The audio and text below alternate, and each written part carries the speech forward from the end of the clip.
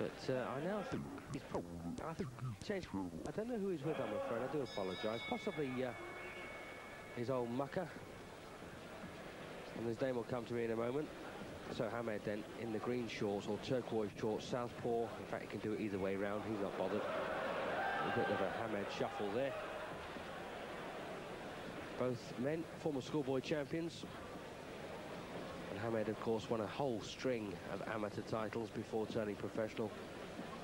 And does remain, as I say, a very serious hope for Britain to go on to take championships at all kinds of weights and different levels. And he's a hell of a puncher, believe me. I've been sparring with him. And I'm a lot bigger, and he hurt my chest. Something terrible. Thankfully, he didn't hit me on the head. And uh, Chrissy Clarkson boxed for the IBF Intercontinental Bantamweight Championship, beaten in four rounds by Francisco Arroyo a couple of years ago. But mixed in good company. Fought uh, Duke McKenzie, beaten in five, beaten by the former British and European champion Billy Hardy in five as well. And the last time we saw him in action was beaten by Bradley Stone on points over eight.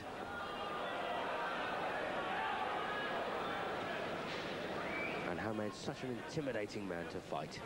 I've known him for about eight years now. I'm glad to say. Comes, uh, his family, in fact, come from the Yemen.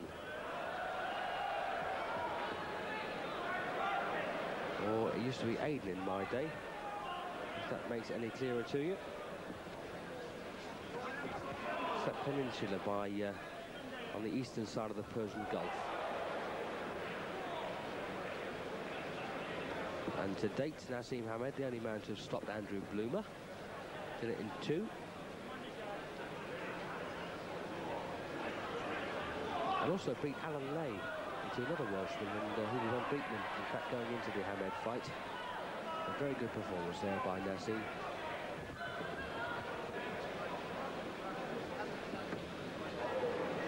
Last time out, he beat a very gritty little, another little Welshman. All gritty, aren't they? Kevin Jenkins in five. Or was it? No, it was in three. I do apologise. Memory was fading me then. And the crowd very impressed so far with what they've seen of Hamed. Of course, one of the reasons that he's on this bill is a possible future opponent for the man who tops the bill this evening, Wayne McCullough. Oh, lovely right hook, and down goes Chrissy Clarkson. Good shot. That was fast and accurate. Up at eight. And he's a gritty campaigner, Chris Clarkson, but uh, can he take the power of Hamed? That's the problem. And the variety of punch as well, and uh, the ends the first round, Hamed. Well, doing a bit of a Chris Eubank, but let me tell you something about Chris Eubank. That top of the rope leap was in fact learned from this young fella up in that Sheffield gym. Eubank never did it until he actually went out there and trained in Brendan Ingle's gym. And there's the replay of the knockdown. And he saw little Hamed jumping over the top rope. And that was just for sparring. And Chris adopted it for his professional routine. Round two then of a scheduled eight bantamweight contest. Naseem Hamed dropped Clarkson with the right hook just at the end of the first. Chris Clarkson's problem, of course, is if he leads off, he knows he's going to get caught. If he doesn't, he's going to get caught anyway. So how on earth do you fight this man?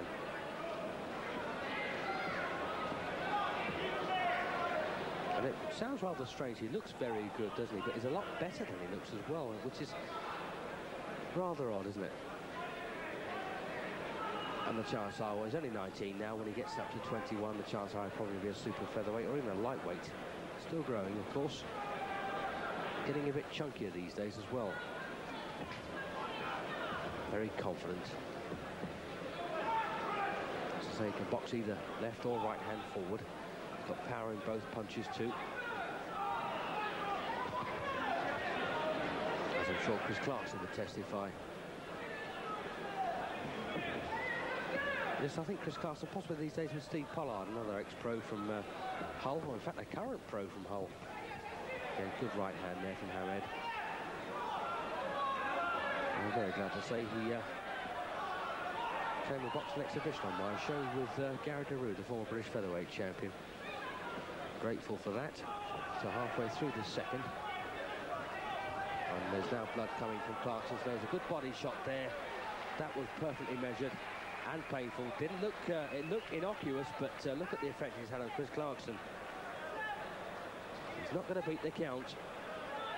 He's staying down there quite sensibly, and they're very, very painful. Well, I hope we see that one again. And there's the forward somersault from Hamed. That was a beautiful shot. A left hand right in the solar plexus.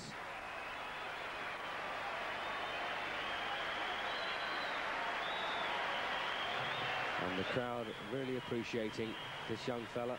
They've read about him, they've seen him on television, now they've seen him in the flesh, but not for long. Well, I just wonder whether Matt Tinley would be prepared to risk Wayne McCullough, and there's the body shot. What a superb finish there from Naseem Hamed. He goes from strength to strength. And one minute spread and 50 around seconds from round Chrissy two. Clarkson's face and Uh, that beautiful the short winner, left Hamed. uppercut to the body.